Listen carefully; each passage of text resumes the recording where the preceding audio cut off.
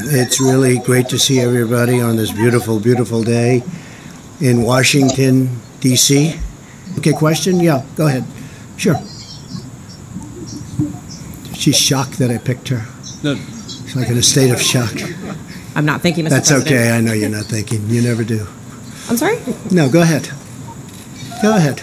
In a tweet this weekend, Mr. President, you said that it's incorrect to say you're limiting the scope of the FBI investigation. What does that have to do with trade? I don't mind answering the question, but you know, I, I'd like to do the trade. It has to do with the other headline in the news, which is the I know, Kavanaugh but I know, but how about talking about trade, and then we'll get to that. We'll do that later. Do you think the trade, anybody have a trade? Do you Go think ahead, your trade please. deal will pass through Congress, sir? Uh, I think so, but you know, if it doesn't, we have lots of other alternatives. But I do think so. I think if they're fair, which is a big question, but if it's fair on both sides, the Republicans love it, uh, industry loves it, our country loves it. Uh, if it's fair, it will pass. I think it'll pass easily, really easily, because it's a great deal.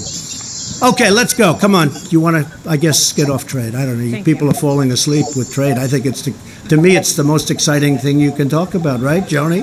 Right?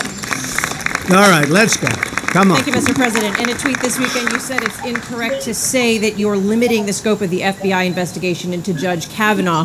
But your own statement on Friday made it very clear. You said this investigation must be limited in scope. So which is it? Well, no, I didn't say anything on Friday. What I said is let the Senate decide whatever they want to do is okay with me. And also the FBI. I think the FBI should do what they have to do to get to the answer. At the same time, just so we all understand, this is our seventh investigation of a man who has really, you know, you look at his life until this happened. What a what a change he's gone through. What his family's gone through.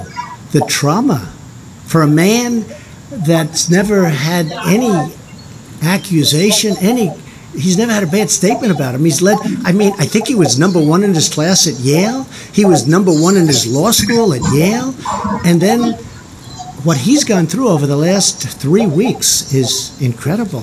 So uh, I want the FBI. This is now their seventh investigation, so it's not like they're you know just starting.